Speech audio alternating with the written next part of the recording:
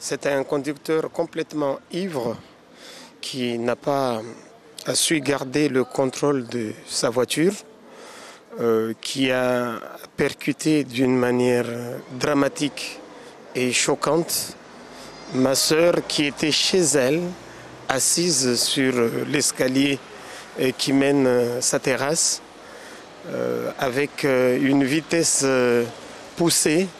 Ça a fait que ma sœur a été traînée en dessous du carcasse de la voiture qui a atteint aussi le poteau de sa maison. ce qui a fait ce qui a fait.